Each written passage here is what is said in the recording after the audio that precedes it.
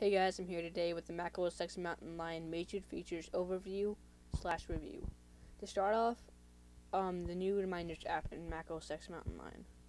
There's really not much review here. The name pretty much makes it glaring obvi obvious.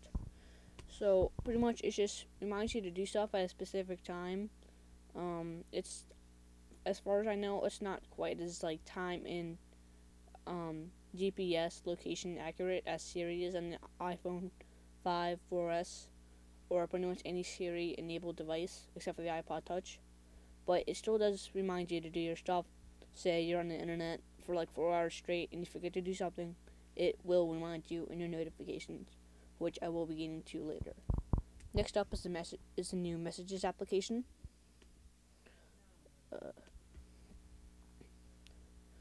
um, if you've ever used iOS, you'll you will be very familiar with this interface. It's the exact same as the iOS interface as far as I know. It is integrated with iChat, so it did replace iChat with these new features. Um, it's pretty much like a status. So like if you're available or out to lunch or something like that, it's very accurate. And allows you to edit your status menu. Um, you can pretty much add one like at work or something like that. Um, of course, you can't um, message anyone via SMS or MS, MMS, but you can um, message anyone um, from another Mac or iOS device. And it does allow you to pick up your conversation right from your iPad, iPhone, or iPod Touch, or any other Mac with OS X Mountain Lion. Up next is notifications. Um, if you have a touchpad, I mean trackpad, excuse me, uh, for your Mac, you can use a two finger swipe to left from the very right of your laptop or your Magic Trackpad.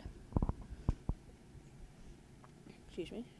It's it's tricky to get if it's your first time doing the gesture, but after that it's very easy. Um, but if you do not have a Magic Trackpad or you just um, don't like having to do the gesture, you can always click this icon on the very upper right corner. Up next is uh, dock. Uh, first off, let's pull up an image of the Mac OS X Lion dock.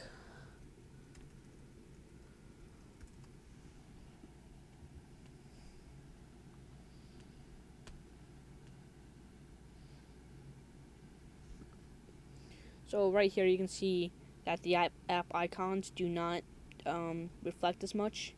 It has more of a slant and that makes it shorter but wider in some cases. And um, it's not as transparent, but it still still has that transparent effect to some extent. You can still customize the dock, but not nearly as easy as there was in Snow Leopard or Lion.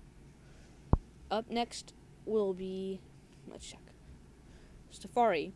Um, let's open up Safari. It's not even in my docs. I use Chrome. So, um, the trigger, uh, excuse me, the gesture is kind of tricky here to get to the tabs. So let's open up new tab. Let's say go to Reddit. Let's go. Let's go to um.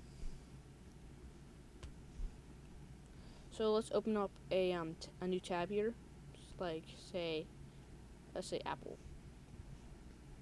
Now, if you zoom, if you use a zoom out gesture, and you take it far enough, you can get to a tab view. It's very nice. So you can pretty much go to any tab. It gives you a visual graphic interface that allows you browse all your tabs to see what you have. Um, along with that, um, it has the Omnibar that's found in Chrome. It's a lot better than having a separate bar for the um. So like if you're coming from Google Chrome to like say Safari 5, which didn't have the Omnibar feature, um, you would probably it'll take a while to get used to because you'd be going to the address bar to Google something, which and that will take a very long time to get used to. Not anymore because in Safari 6, because in Safari 6, um, sorry about that, I had a little disruption there. So as I was saying, um, you have the um, Omnibar feature in the tab view. Um, as far as I know, that's the um, one of the major features. So up next is Twitter and Facebook integration, which you probably saw saw during the notifications pop up over here. So, if I um, click the tweets or maybe click the post to Facebook, it just lets me do it straight from notifications. And if someone messages me or mentions me on Twitter or Facebook, then it will pop up as a notification or as a notification banner right up here. I've, I've actually find it very useful to find when my friends are online, say when I'm not online.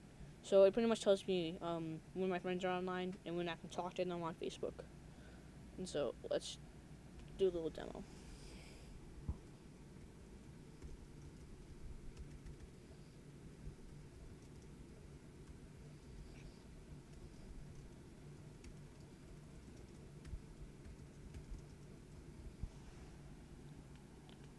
As you can see, you can add a location along, same with Facebook.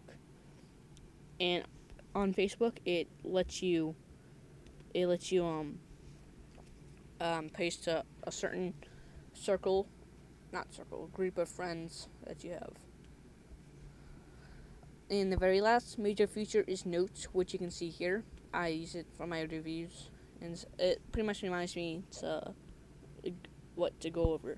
So let's make a new note. Actually it's bigger. So say you wanted to like cooking cooking recipe like say one ten thousand a hundred thousand pounds of butter and 100 grams of fat for a cake. And you can use it for recipes, a shopping list, and um, as you can see right next to the cooking recipe up here, after a while it will say updating if you pause the video right there.